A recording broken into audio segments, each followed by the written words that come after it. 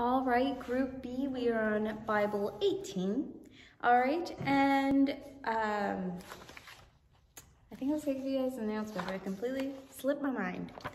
So let's go ahead and just begin to read together. Make sure you follow along with your finger or ready with what? Your pencil to circle. After many years in Canaan, because remember what happened? God's people went and they found the land that God had promised them full of what? Milk and honey.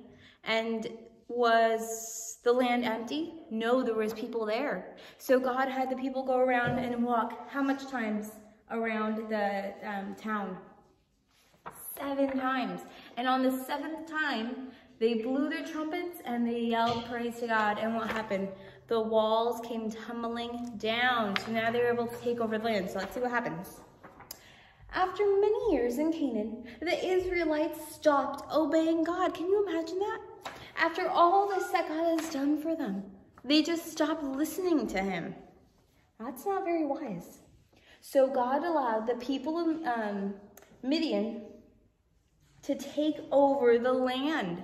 So the Israelites had the land, and now other people from another tribe came and took over the land.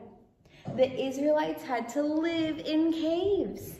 Finally, they asked God for help. So finally, after being disobedient and after being mean and rude and living the way they wanted to, probably not by the Ten Commandments, then they what?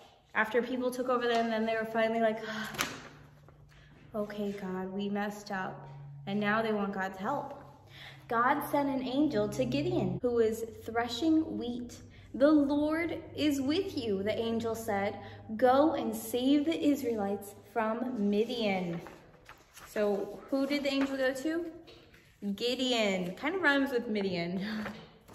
All right. Lord, Gideon said, I will put out a piece of wool tonight.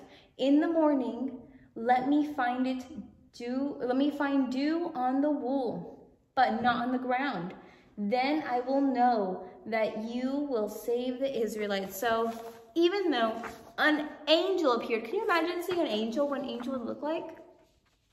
I have no idea what an angel would look like. Maybe you can do that as a project. After Bible today, maybe you can pull out a paper and try to imagine what you think an angel will look like. All right, but after an angel appeared to Gideon and said, you will save the Israelites, was Gideon convinced? No, he still wanted what? He still wanted God to give him more signs. So he got a um, piece of wool. It's like a skin of an animal like for clothing, and he put it on the ground. He said, okay, God, if you really want me to do this, make sure that the wool is um, has dew, but not the ground. That means make the fabric wet, but everything around the fabric will be what? Dry. The next morning, the wool was wet, but the, and, oh, sorry, yeah, but the ground was dry. Give me one more sign, said Gideon. Can you believe that? God sent an angel to Gideon. He even what? He even did some um, a miracle for him, and he still needs more convincing. I think Gideon's a little stubborn. The next morning, the wool was dry, but the ground was wet. So the next morning, it was opposite. The wool, it was like getting this paper and putting it on the ground, and the whole ground's covered in water. But what would happen if this was on the ground? It'd be wet, right? but this was all dry. Can you imagine that? Let's turn the page. Alrighty. God gave Gideon a small army of 300 men. Each man had a trumpet and clay jars with torch um, with a torch inside. So they had what? A trumpet. And what else? a clay jar with what inside? A torch inside. So that was like, hmm, it was like a clay jar. It's like a cup. They'd probably make their cups out of clay. And then they had a stick with fire, as you can see in the picture. Um, at night, the army made a circle around the camp of Midian. So the army, what? Were they loud or quiet? They're probably really quiet. With what? Their torch? and their trumpets really, really quiet.